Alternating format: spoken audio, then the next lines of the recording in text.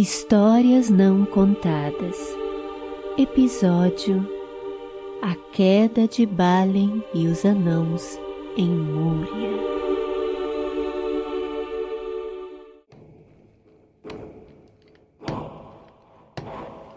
Balin andava pelos corredores de Moria enquanto ouvia a música que vinha dos salões. Os anãos cantavam enquanto erguiam e reconstruíam tendo o barulho de suas ferramentas como acompanhamento. Uma bela sinfonia de regozijo e alegria enchia Casadum, e a glória e esplendor voltavam aos poucos à grande casa de Durin. Balin desceu uma escada em curva, com as tochas presas às paredes, aumentando sua sombra à frente. Ao descer o último degrau, Balin encontrou Frar sentado a uma mesa, escrevendo concentrado com uma pena. Ao seu redor, os arsenais que Owen havia buscado na terceira profunda ondulavam em tons metálicos e dourados, refletindo as chamas das tochas. Montanhas de prata e ouro abarrotavam o salão, muitas vezes chegando perto da altura do teto, e entre eles, aqui e ali, cintilava o mítrio, tirado dos veios recentemente descobertos. Não era à toa que o mítrio também era conhecido como prata vera. Mesmo em seu estado bruto, era muito belo de se contemplar, pensou Balin. Frar notou a presença de Balin e se levantou fazendo uma reverência. Balin apenas assentiu com a mão para que Frar voltasse a sentar e sorriu. Mesmo sendo senhor de Moria há algum tempo, Balin ainda não havia se acostumado com essas formalidades. Balin era um líder gentil e se importava com cada anão em Moria. Todos o admiravam e amavam. Digno de levar o nome de Durin adiante, diziam. Não há necessidade de se levantar, meu caro Frar, disse Balin parando do outro lado da mesa. Apenas vim ver como estão as coisas, admirar um pouco do nosso árduo trabalho. Olhou ao redor com um sorriso no rosto. Estava notando agora, meu senhor. Hoje é 10 de novembro de 2994. Cinco anos desde a nossa chegada. E já temos um estoque para armarmos um exército de anãos. Mesmo com o que o senhor deseja mandar para Erebor, ainda sobrará mais do que o suficiente. Uma pena que nossas forjas não sejam tão rápidas. Creio que quando Erebor souber que encontramos Mithril, muitos anãos virão e se juntarão a nós. Quem sabe até nosso rei deixe seus temores antigos de lado e nos conceda uma visita. Por falar nisso, disse Frar, o corvo já voltou de Erebor? Pelos meus cálculos, ele já deveria ter retornado. Faz muito tempo que não mandamos mais um corvo para lá, respondeu Balin. Pode ter se perdido ou ter sido pego por algum animal. As terras selváticas são repletas de perigos, ainda mais para um pequeno pássaro indefeso. Não se preocupe. Se ele não regressar até amanhã, mandaremos outro. Bem, se não há nada de que precise, meu caro Frar, irei subir. Não hesite em me chamar se precisar de algo. Sim, meu senhor, disse Frar, fazendo mais uma reverência. Balin apenas sorriu, virando-se e retornando à escada. Frar voltou aos seus pergaminhos, enquanto os passos de Balin se distanciavam até sumirem.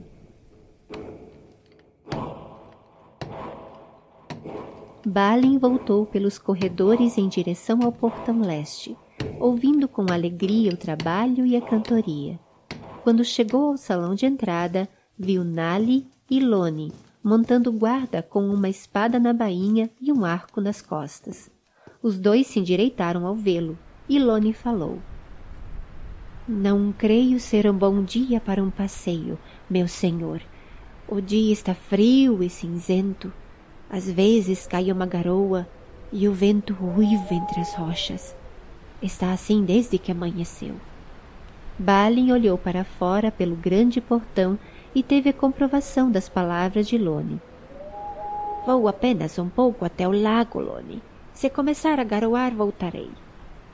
Quer que um de nós o acompanhe, meu senhor? Disse Nali solícito. Não será necessário, Nali, mas obrigado de igual modo. Balin desceu a escada antes que Lone ou Nali insistissem. Gostava de caminhar sozinho ao ar livre, e mesmo num dia nublado, o lago do riacho escuro era muito convidativo para um passeio. Sua beleza não conhecia estações, e Balin se sentia próximo a todos os seus ancestrais quando estava ali.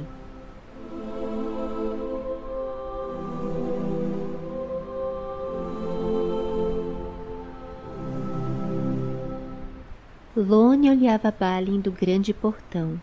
Já se acostumara a vê-lo passeando sozinho pelo vale. Desde que se tornara o senhor de Moria, Balin era visto com frequência andando só, tanto fora quanto dentro de Moria. Devem ser as preocupações e responsabilidades que vêm com a liderança, pensou Lone. Mas seus pensamentos foram interrompidos quando viu Balin cair diante do lago. Demoraram alguns segundos para Lone perceber o motivo, mas quando percebeu, imediatamente gritou: Orques! E saiu correndo, seguido por Nali, os dois com um arco e flecha em mãos. Quando eles chegaram, a grama já estava manchada de vermelho com o sangue de Balin, que estava caído de bruços com uma flecha nas costas. Lone olhava ao redor enquanto Nali erguia Balin desacordado. Mais uma flecha foi atirada, quase acertando Nalin na cabeça, não fosse seu elmo.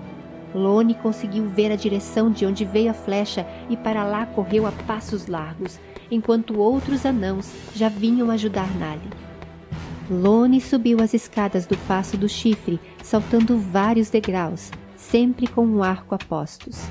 Viu um vulto subindo entre as pedras, mas Lone estava sem mira para atirar. Continuou saltando os degraus. Conseguiu ver o orc quando este saltava para uma pedra mais acima.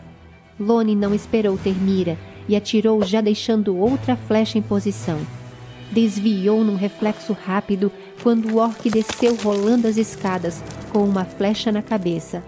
Olhou para baixo e viu o orc deitado nas rochas, numa posição que indicava uma boa parte de ossos quebrados. Ele o havia acertado. Ori vinha em sua direção com a espada em punho. Os outros já estavam na escadaria do grande portão carregando Balin. Lone indicou com a mão para que Ori voltasse e gritou: Orques na planície! Volte ao portão! E começou a descer, correndo as escadas.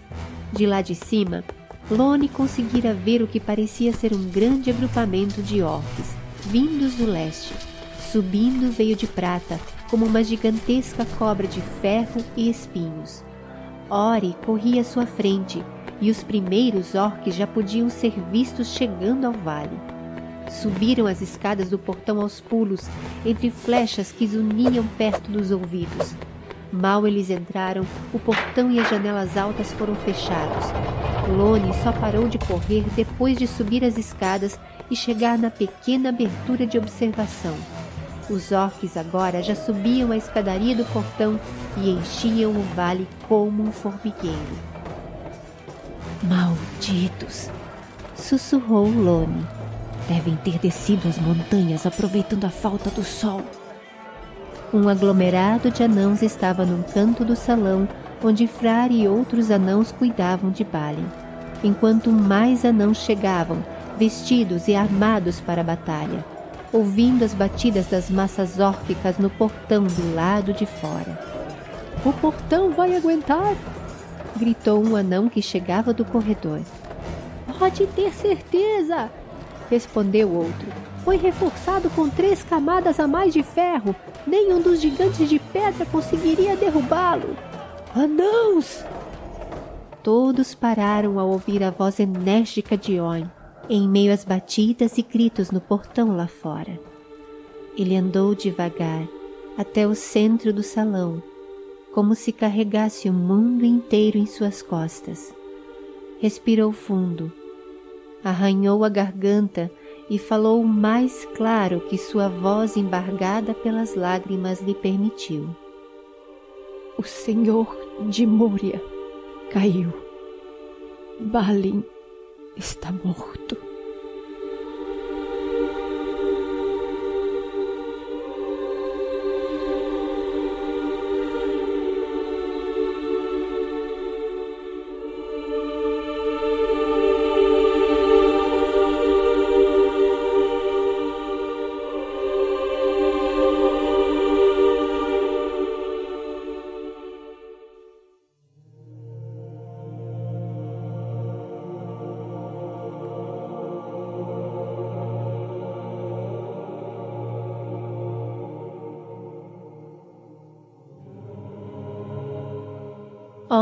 Olhava fixo para o túmulo, que era banhado pela luz da abertura na câmara de Mazarbu. Fora feito às pressas, mas o povo de Mahal não enterraria o senhor de Moria de qualquer maneira. Retiraram a grande cadeira de pedra e no lugar colocaram um túmulo de pedra lisa e o lacraram de tal maneira que nenhum ser maligno pudesse profanar o corpo de Balin. Os orques iam e vinham ao portão. Durante o dia, montavam guarda e forçavam o portão, ocasionalmente, pois precisavam se proteger do tímido sol que começava a despontar. Usavam tendas e lonas e as poucas sombras disponíveis no vale para isso. Mas à noite, voltavam com força redobrada ao portão, e os barulhos só cessavam ao raiar do dia. Lone, Ori e os outros arqueiros matavam vários orques, atirando das pequenas aberturas ao lado das janelas. Mas pareciam chegar mais a cada dia, e o número de orques só aumentava em vez de diminuir.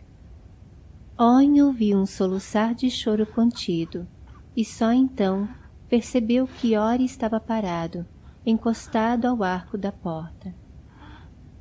Alguma novidade no portão? Perguntou Oin sem emoção. Não, respondeu Ori, enxugando as lágrimas na manga da túnica. Mas Nali disse que o portão não vai aguentar muito mais tempo. Ori respirou fundo antes de continuar.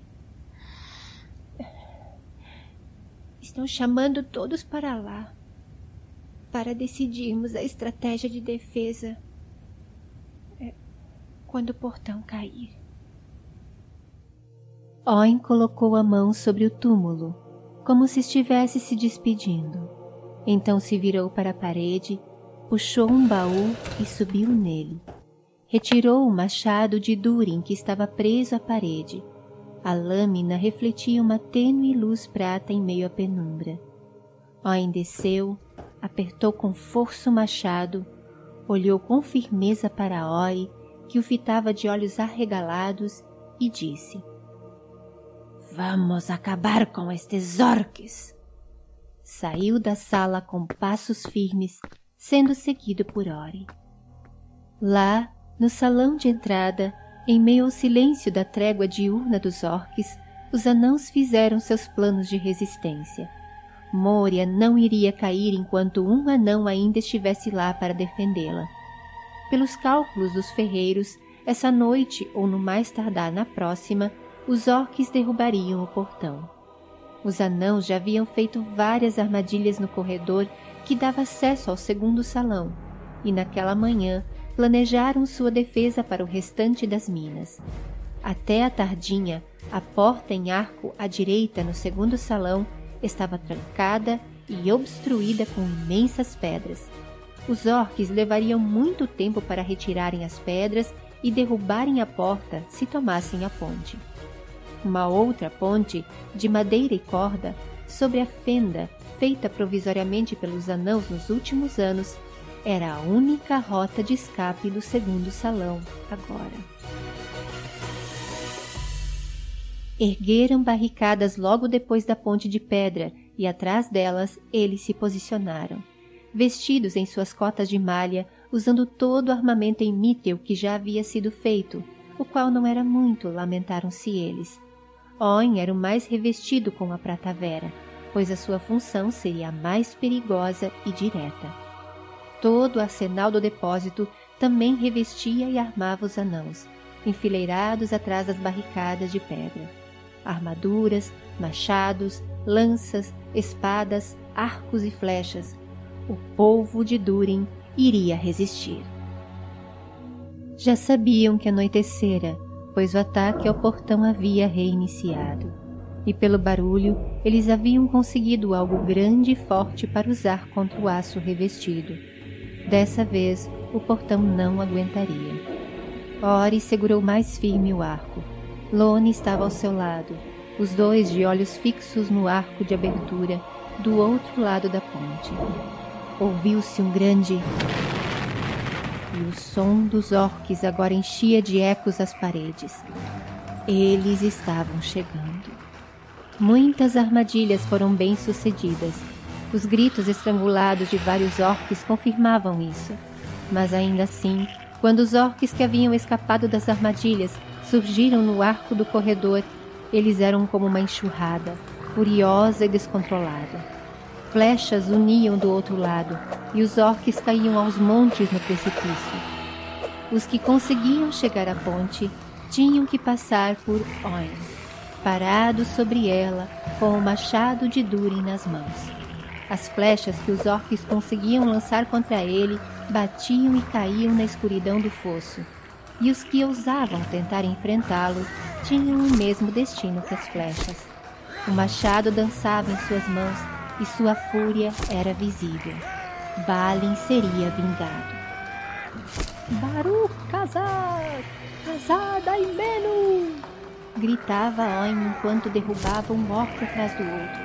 Os anãos lhe faziam cor, erguendo sua linha de escudos, enquanto os arqueiros lançavam suas flechas como ondas no mar. Uma onda vindo logo depois da outra. Os orques caíam como moscas, mas seu número não diminuía. Mais e mais atravessavam o arco do corredor. Então, ouviram um som grave e horrendo. E um troll com uma enorme massa na mão, passou pelo arco e começou a subir na ponte. Flechas o acertavam, algumas ficavam penduradas em sua pele enrugada e macilenta, mas nenhuma delas o parou. Lançou a massa contra Oin com toda a sua força. Ele deu um salto para trás, evitando assim ser esmagado, mas o troll ganhava terreno. Mais um golpe e mais um passo atrás de Oin. Logo eles atingiriam o lado oeste da ponte. Oin gritou a plenos pulmões: Casar! E correu antes que o troll conseguisse descer mais um golpe, pois apesar de forte, ele era lento. O machado de Durin zuniu e atingiu o troll em cheio, acima do joelho, fazendo-o uivar de dor e perder o equilíbrio, caindo logo em seguida no abismo. Oin olhou o troll sumir na escuridão. Depois virou-se para os orcs, se colocando na mesma posição de desafio. Nenhum ser maligno passaria por ali. Os anãos gritavam eufóricos e continuavam sua resistência com mais fervor, inspirados pela bravura de Oin. Mas os orcs tinham uma vantagem seu número. Horas e horas já haviam se passado e mais orques chegavam. Oin já mostrava sinais de cansaço. Logo perderiam a ponte. Ouviram a voz de comando de Lone. Anãos, recuar! A linha de escudos foi erguida e vários anãos passavam agora pela ponte de madeira e seguiam correndo entre as altas colunas negras para a entrada oeste enquanto os arqueiros seguravam os orques na ponte. O que foi bem a tempo, pois On gemeu de dor, quase fazendo o machado cair ao sentir uma cãibra pelo excesso de esforço. Ori acertou o orc que já levantava a cimitarra contra Oin. Dois outros anãos buscaram Oin, enquanto os arqueiros cobriam a sua retaguarda. Oin gemia e tremia, seu corpo não aguentando mais a pressão a qual Oin o havia submetido. Suas mãos deixaram cair o machado no caminho. Ele gritava, mas os dois anãos já atravessavam a ponte de madeira com ele. Um dos arqueiros trará o machado, Oin. Precisamos tirar você daqui. Aguente mais um pouco. disse um dos anãos que o carregava. Os últimos a se retirarem foram os arqueiros. Lone conseguira pegar o machado de Durin e vinha logo atrás de Ori. Os orques já chegavam ao salão.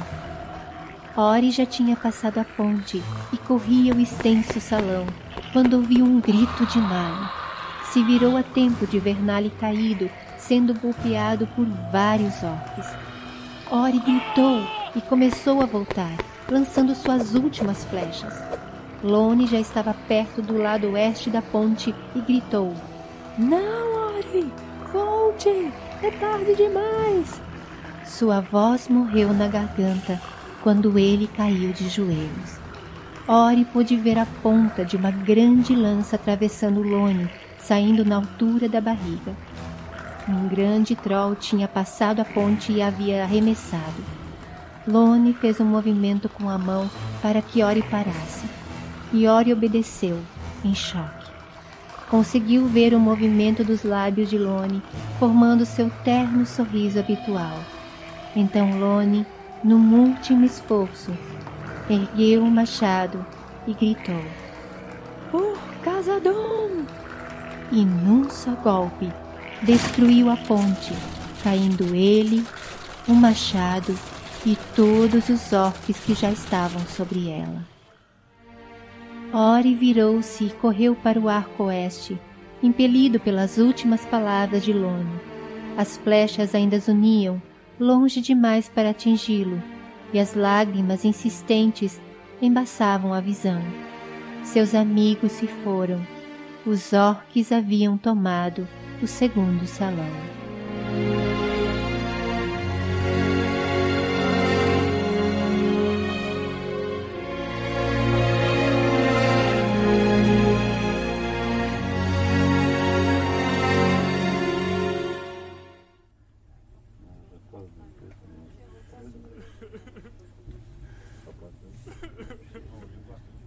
Os anãos sobreviventes estavam todos agora no vigésimo primeiro salão. Os portões eram vigiados, pois mesmo sabendo que os orques só chegariam se passassem a fenda ou a porta do segundo salão, eles mantinham-se atentos. Owen já estava recuperado, com o rosto cansado, mas implacável, e juntou os anãos na área central do salão. Temos alguns dias, é o que os orques vão levar de tempo para transporem as portas, ou fazerem uma ponte decente por onde possam passar. Eu e mais alguns anãos voluntários iremos até o portão de Azevin. Se ele não tiver sido tomado pelos orques também, poderemos tentar escapar por ali. Quero os anãos mais rápidos comigo. Se for seguro, alguém voltará para informar e conduzir os outros. Não podemos arriscar irmos todos, os orques podem ter tomado o lado oeste também. Já conheço bem o caminho e consigo chegar em dois dias. Os orques levarão pelo menos seis para conseguirem passar do segundo salão. Isso quer dizer que teremos que abandonar Múria? Tudo que lutamos, tudo que reconstruímos? Disse um dos anãos inconformado. Oin respirou fundo e disse com resignação. É a única chance que temos. Os orques são muito mais numerosos do que nós. Devem ter se preparado todos esses anos. Respirou mais uma vez, como que tomando mais coragem. Um dia voltaremos.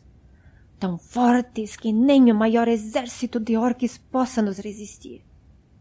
Mas agora precisamos sobreviver.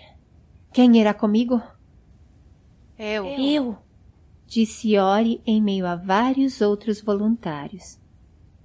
Sinto muito, Ori, mas você terá que ficar.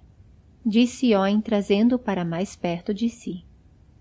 Frar tombou com Nali e Lone no segundo salão. Preciso que faça outra coisa para mim.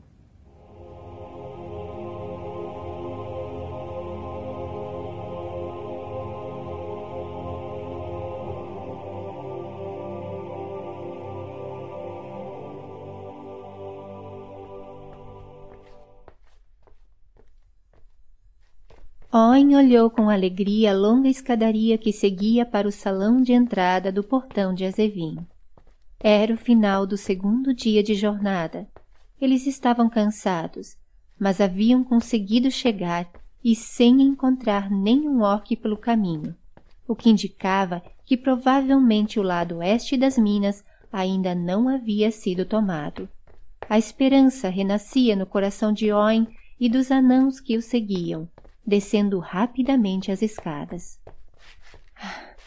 Agora precisamos ser cautelosos, disse Oin. Eles podem não ter entrado ainda, mas nada impede que eles estejam nos esperando do lado de fora. Quero todos na formação defensiva. Eu saio primeiro. Lentamente, eles empurraram o portão. Nenhum orc os esperava do lado de fora mas seu espanto era visível. Um enorme lago cobria todo o vale, chegando até a beirada do portão.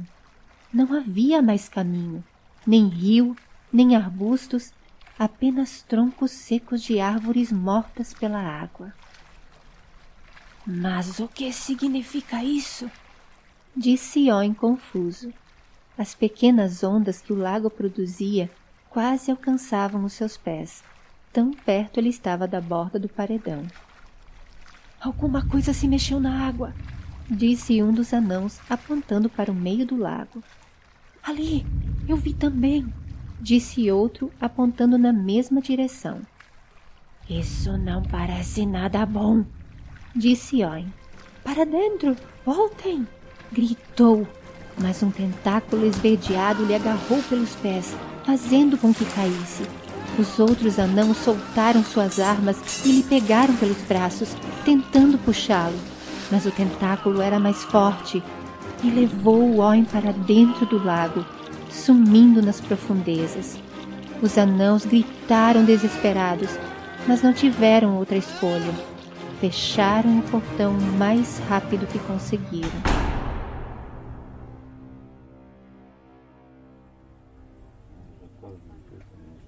Faz quantos dias que eles partiram para o portão? Perguntou um anão para Ori, que escrevia sentado num canto do vigésimo primeiro salão. Hoje é o quinto dia, respondeu Ori, erguendo os olhos do livro. Pela luz na câmara, já passamos do meio da tarde. Ele embebeu a pena no tinteiro e voltou a escrever. O anão continuava o olhando. O que você escreve tanto nesse livro? Perguntou o anão. Todos os últimos acontecimentos. Ó impediu que eu fizesse. Respondeu Ori sem tirar os olhos do livro. Por quê? Perguntou o anão. Porque esse será o único relato que poderemos deixar para que os outros saibam o que aconteceu conosco, caso. caso. As palavras de Ori morreram na garganta. Caso? O anão insistiu. Ori levantou os olhos do livro e encarou o anão. Caso não consigamos sair. O anão se calou e baixou a cabeça. Ouviram passos correndo. Vinham do lado oeste. O anão que olhava o chão levantou a cabeça num olhar esperançoso e disse: São eles! Eles voltaram! Cinco anãos entraram esbaforidos no salão. Todos correram para eles e os cercaram. Alguns já lhe trouxeram água e os fizeram sentar. Ori venceu a barreira de anãos e perguntou antes dos outros: Vocês conseguiram? Podemos escapar por lá? Por que só Ori ficou lá no portão? O anão que mais estava em condições de falar respondeu: O vale se transformou num lago e chega até a muralha oeste. E tem alguma coisa nele. Não é orc, nem troll. Tem tentáculos e é como. como se vigiasse a água e o portão. É isso. Um vigia. Um vigia na água. Ai, foi pego por ele. Tentamos puxá-lo, mas o vigia. Ele o levou para o fundo do lago. Não podemos sair por aquele lado. Os anãos murmuravam desalentados e lamentavam-se pela perda de Oin. Ouviram um estrondo. O eco reverberou nas paredes e o chão tremeu levemente. Eles passaram pela porta, disse Ori. Para a câmara! gritou Ori e todos os anãos pegavam o que podiam e corriam para o arco norte. O som oco dos gritos dos orques já podia ser ouvido vindo pelos corredores. Fecharam as duas portas da câmara assim que o último anão passou pela maior. Eles estavam cercados não podiam sair.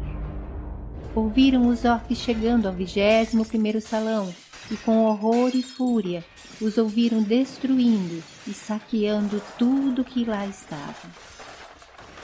Malditos! Disse um dos anãos com os ouvidos encostados à porta maior. Ori escrevia freneticamente em seu livro. Logo estariam tentando arrombar as portas mas para surpresa de todos, depois de um tempo, ouviram apenas o silêncio, e o silêncio persistiu por horas. Não é possível que tenham ido embora. É uma armadilha. Querem que a gente saia, disse um anão. Eles sabem que mais cedo ou mais tarde teremos que sair, respondeu outro. A comida e a água não durarão para sempre. Eles não têm pressa. Vão nos pegar mais cedo ou mais tarde. Eu escolho como morrer, disse um terceiro anão que estava mais ao fundo. Nenhum orc decidirá isso por mim. E eu escolho morrer lutando, como meus irmãos. O que fizerem com meu corpo depois disso, pouco me importa. Mas meu espírito chegará com honra ao nosso pai Mahal. Isso eu garanto. Eu escolho morrer lutando, disse Ori se levantando e erguendo seu machado. Eu, eu escolho morrer lutando, disseram mais dois anãos. Por fim, todos os anãos da câmara disseram em uníssono: Nós escolhemos morrer lutando! Ori ainda escrevia muito rápido no livro de registros. Não podia deixar nada de fora. A pouca luz que as lamparinas já enfraquecidas de óleo emanavam dificultavam sua tarefa. Mas ele não deixaria nada de fora. Precisava se lembrar de cada detalhe. Esse seria seu único testemunho. Sem ele, o povo de Erebor nunca saberia o que acontecera a eles. Sim, outros viriam, como Oin disse, mais fortes, e derrotariam e expulsariam os orques de uma vez dos palácios de Durin. Ele não veria esses dias, mas escrevia, crendo que um dia eles chegariam. Moria pertence ao povo de Durin, e assim será. Quando Ori ergueu os olhos, viu o túmulo de Balin inundado de luz. Estava amanhecendo. Sim, eles descansariam junto com Balin, Oin, Lone, Frar, Nali e todos os anãos que tombaram em Moria. Só precisavam manter a coragem até o fim.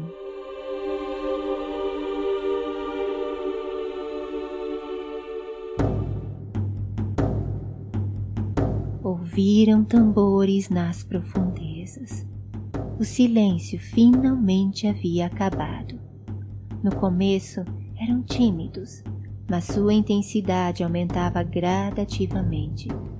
Não demorou muito para ouvirem os orques nos corredores. Ori escreveu a última frase no livro. Eles estão chegando.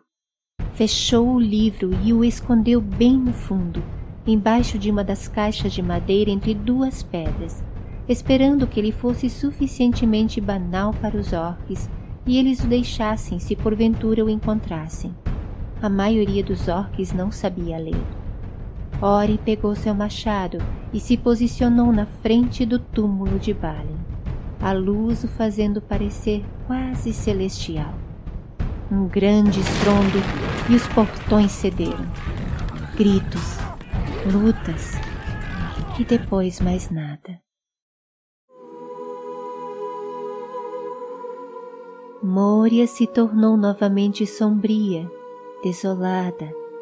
O chão se encheu de pó e nada além de ossos sobrara dos anãos que um dia lá habitaram. Por cerca de trinta anos, sua sina ficou desconhecida dos homens, elfos e de seu amado povo. Até que o destino trouxe aqueles que veriam a desventura de Balin e a levariam ao conhecimento de seu povo. Ah, pelo que vejo, escolhi o caminho certo, disse Gandalf. Pelo menos estamos chegando às partes habitáveis, e creio que já não estamos longe do lado leste. Mas estamos muito alto, bem mais que portão do riacho escuro, a não ser que me engane. Pela sensação do ar, devemos estar em um salão